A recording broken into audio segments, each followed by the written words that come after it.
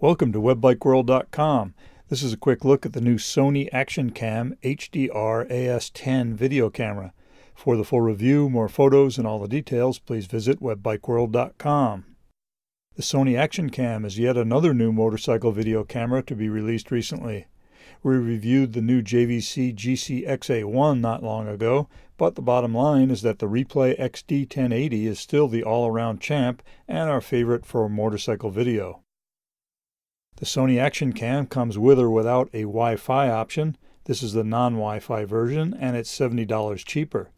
It also comes with a waterproof housing, which is pretty much required to use the camera, so it's like the GoPro in that regard. It also comes with a couple of helmet mounts and a USB cable, and that's it. Here it is compared to the GoPro, the JVC, and the Replay XD 1080. The Sony Action Cam is narrower than the GoPro, but the overall package is about the same size. The Sony is much easier to use than the GoPro, however. You really don't even need the instruction manual. In the front is the lens and stereo speakers, although like every other motorcycle video cam, the sound quality is awful. In the back is a big start-stop button. To turn on the camera, press the button and the camera turns on and, big fault here, the camera immediately starts recording. So then you have to press it again to stop and you end up with a bunch of short video clips of your fingers. Sony really needs to fix this in a firmware update. Once it's on, press the previous or next buttons to go through the menu system. It's straightforward and the choices are obvious. Press the Start button to select a menu choice, then use the previous or next buttons to move through, and press the Start button again to select your choice. Most of the feature changes in the camera are selected through the setup screen. The camera has VGA recording, which nobody's going to use, Standard is 1920 by 1080p at 30 frames per second. It also takes 720 at 30 frames per second, 60 frames per second, or 120 frames per second.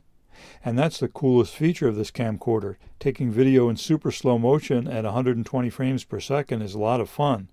I'll show you a sample of that later.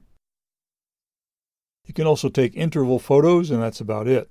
There's no live view, so it's a bit difficult to line up the camera, Possibly the Wi-Fi option would help here if you can get it to sync with your cell phone. To turn off the camera, you actually have to go to the power down screen and then press the button in the back to shut the camera off. It will also turn off after a certain amount of time if you haven't used the camera, but that wastes the precious battery life. In the back is the rechargeable battery and the micro SD memory slot. The camera does not come with any memory, and the micro SD card can be installed either way, and the slot is pretty fussy even if you do get it right, so be sure to check the screen when you start up the camera. It will give you an error if the card isn't seated just right. The USB and HDMI ports are under a flimsy cover on the bottom of the camera. Here are the accessories. It comes with an extra battery tray, a couple of goggle clips, and the waterproof housing, and a USB cable.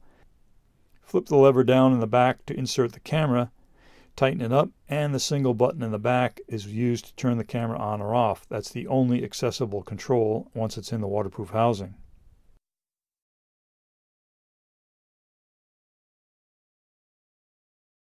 Here's the size of the Sony Action Cam compared to the GoPro, also in a waterproof housing, the JVC GCXA1, and the Replay XD 1080.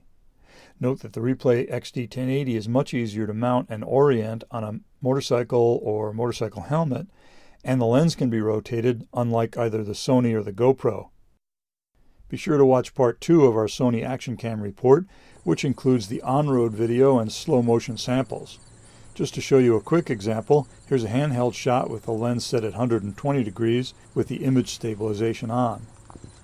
You can see that the sky has a strange blue tinge this camera way oversaturates the blues, and it has a blue tinge also to the white balance, which is another fault, and it hurts the overall quality of the video, especially in the shadows or on cloudy days.